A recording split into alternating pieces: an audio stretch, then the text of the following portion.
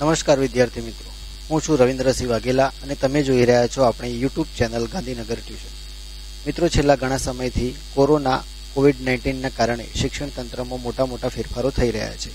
આપ સૌ જાણો છો તે પ્રમાણે આ વર્ષે, એટલે કે શૈક્ષણિક વર્ષ બે હજાર ઓગણીસ, બે હજાર વીસમાં માસ પ્રમોશન આપવાની જાહેરાત થઈ. હવે આ માસ પ્રમોશનના નિર્ણયમાં કેવી રીતે વિદ્યાર્થીઓને માસ પ્રમોશન આપવામાં આવશે, તે જાણવા માટે તમે આ વિડીયોને અંત સુધી જોતા રહો. ઓકે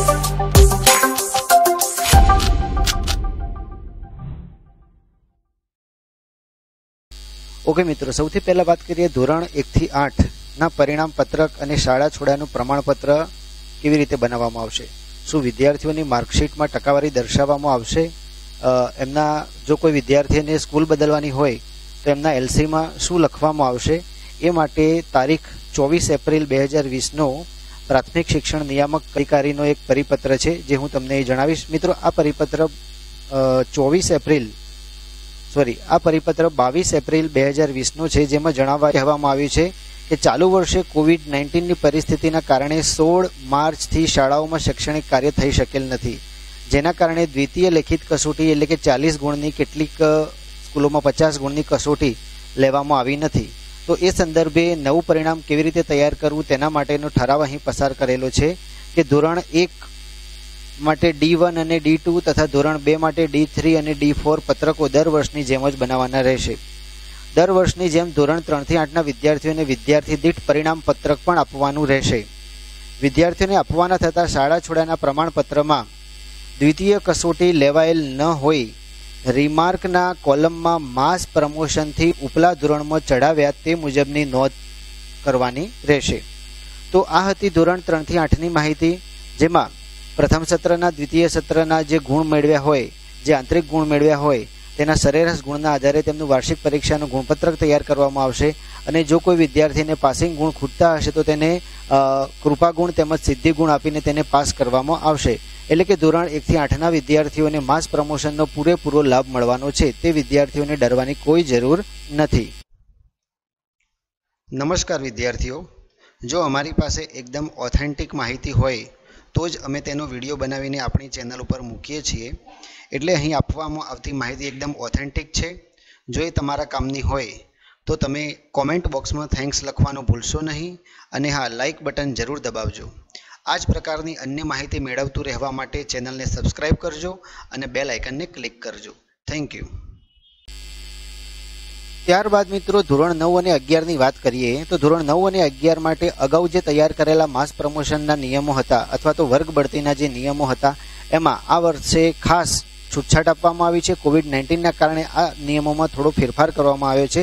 જેમાં ઉચ્ચતર માધ્યમિક શિક્ષણ બોર્ડ દ્વારા છવ્વીસ એપ્રિલ, એટલે કે આજે થઈ સત્યાવીસ એપ્રિલ, છવ્વીસ એપ્રિલ બે હજાર વીસના રોજ જે ઠરાવ પસાર કરવામાં આવ્યો તે અંગેની જે કેટલીક અગત્યની બાબતો છે તે હું આપને જણાવીશ. તો વિદ્યાર્થી મિત્રો, શાળાઓ દ્વારા શૈક્ષણિક વર્ષ બે હજાર ઓગણીસ વીસમાં પ્રથમ પરીક્ષા પચાસ ગુણ, દ્વિતીય પરીક્ષા પચાસ ગુણ, આંતરિક મૂલ્યાંકન વીસ ગુણ લેવાયેલ છે. એટલે કે કુલ સો ગુણની કસોટી થઈ છે. શાળાઓમાં વાર્ષિક પરીક્ષા એટલે કે એસી ગુણની પરીક્ષા લેવાઈ નથી. એટલે પરિણામ પત્રક તૈયાર કરવા માટે પ્રથમ પરીક્ષાના પચાસ ગુણ, બીજી પરીક્ષાના પચાસ ગુણ અને વીસ ગુણ આંતરિક કસોટી. એમ કરીને કુલ એકસો વીસ ગુણની પરીક્ષા યોજાયેલ છે. એટલે એકસો વીસ ગુણમાંથી જે ગુણ મેળવ્યા હોય, એને સોમાંથી મેળવેલા ગુણમાં રૂપાંતરિત કરવામાં આવશે. એટલે માનો કે કોઈ આ ત્રણેય પરીક્ષાઓના થઈ, એટલે કે પ્રથમ પરીક્ષા, બીજી પરીક્ષા અને આંતરિક ગુણ. આ ત્રણેયના એકસો વીસમાંથી જો કોઈ વિદ્યાર્થી એસી ગુણ મેળવે છે, તો એને આ રીતે બનાવવામાં આવશે કે એકસો વીસમાંથી એસી ગુણ, તો સોમાંથી કેટલા ગુણ. એ રીતે તેના સોમાંથી ગુણ નક્કી કરવામાં આવશે. એવું છવ્વીસ એપ્રિલ બે હજાર વીસના પરિપત્રમાં દર્શાવ્યું છે. હવે આ પદ્ધતિ પ્રમાણે જો કોઈ વિદ્યાર્થીને તેત્રીસ ટકાથી ઓછા ગુણ થતા હશે કોઈ વિષયમાં, તો તેને કૃપા ગુણ આપવામાં આવશે. જેમ કે જો કોઈ વિદ્યાર્થીના સરેરાશ ચાલીસ ટકા થતા હોય, પરંતુ કોઈ વિષયમાં ત્રીસ ગુણ થતા હોય, તો તેને ચાલીસ ગુણ, એટલે કે તેત્રીસ ટકા ઉપર એને બીજા વધારાના સાત ટકા છે, એટલે કે પ્રત્યેક ટકાનો એક ગુણ કૃપા ગુણ તરીકે આપવામાં આવશે. એટલે કે આ વિદ્યાર્થી કે જેના સરેરાશ ચાલીસ ટકા થાય છે, તે સાત ગુણ કૃપા ગુણ તરીકે મેળવવાને લાયક છે. પરંતુ આ વિદ્યાર્થીને ત્રીસ ગુણ આવ્યા હોય કોઈ વિષયમાં, તેને ત્રણ ગુણ કૃપા ગુણ તરીકે આપવામાં આવશે, જેમાં પ્લસ નિશાની કરીને આવશે અને તેને આગળના ધોરણમાં મોકલવામાં આવશે. હવે દાખલા તરીકે કોઈ વિદ્યાર્થી કૃપા ગુણ ઉમેરીને પણ પાસ થતો નથી, તેના તેત્રીસ ગુણ થતા નથી, તો એના માટે શું કરવામાં આવશે? તો પ્રિન્સિપાલ શ્રીને આપવામાં આવેલા વિશિષ્ટ હક કે તેઓ દસ ગુણ સિદ્ધિ ગુણ તરીકે આપી શકે છે અને આ વર્ષે પ્રિન્સિપાલ વિદ્યાર્થીને વધુમાં વધુ વીસ ગુણ સિદ્ધિ ગુણ તરીકે આપી શકશે.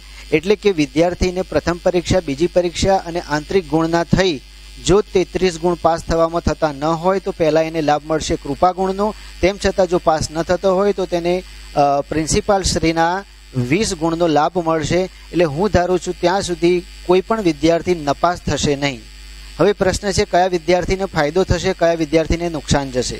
તો જે વિદ્યાર્થીઓનું પ્રથમ અને બીજી પરીક્ષાનું પરિણામ સારું આવ્યું છે અને આંતરિક ગુણ માટે સ્કૂલમાં સારી એવી મહેનત કરી છે, સારું પરફોર્મન્સ બતાવ્યું છે, નિયમિત હાજર રહ્યા છે, એ વિદ્યાર્થીઓને વીસ આંતરિક ગુણ પણ સારા એવા મળી રહેશે. તો આ વિદ્યાર્થીઓને ચિંતા કરવાની કોઈ જરૂર નથી. પરંતુ જે વિદ્યાર્થીઓને પ્રથમ અથવા તો બીજી પરીક્ષામાં કોઈ કારણોસર પરિણામ સારું આવ્યું ન હતું, તો તેમનું વાર્ષિક પરીક્ષાનું પરિણામ સારું બને તેવી શક્યતા નથી. કેમ કે અહીં પહેલી પરીક્ષા, બીજી પરીક્ષા થઈને જ વાર્ષિક પરીક્ષાનું પરિણામ બનાવવાનું છે.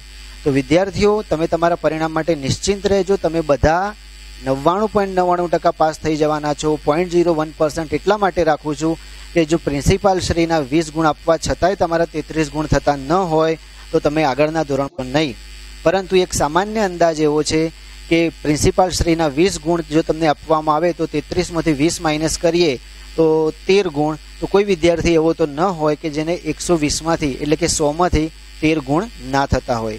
તો વિદ્યાર્થીઓ, આશા રાખું છું કે તમે બધા પાસ થઈ જશો અને આવતા વર્ષે આપણે ફરી મળીશું. અમારી ચેનલ ગાંધીનગર ટ્યુશનને સબસ્ક્રાઇબ અમે આ ચેનલમાં શિક્ષણ તંત્રને લગતા લેટેસ્ટ ન્યૂઝ અપડેટ કરતા રહીશું.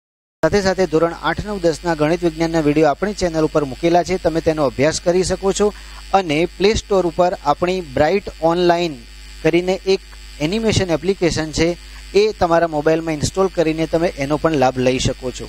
ઓકે મિત્રો, તો ફરી મળીશું નવા વીડિયો સાથે, નવા સમાચાર સાથે. ત્યાં સુધી રવિન્દ્રસિંહ વાઘેલાના જય માતાજી.